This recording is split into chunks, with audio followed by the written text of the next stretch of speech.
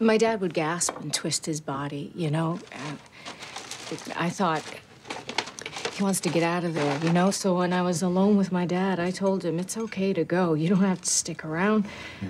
You know, I told him I loved him. He was a great dad, and um, he was free to go to heaven. Yeah. Two days later, he woke up out of the coma. Fuck. Oh, that's. Oh, God. Woke up. After three months. Fuck. He talked in a soft voice, you know? And I thought, oh, well, he's in a zombie state, you know, where you stay around because there's some unfinished business you're responsible for, you know, like taking care of my mom. Yeah. Your mom, of course. He went back to be with her at Village Care Facility. You know, that's.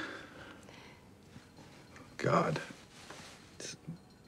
Got up from a coma, went home.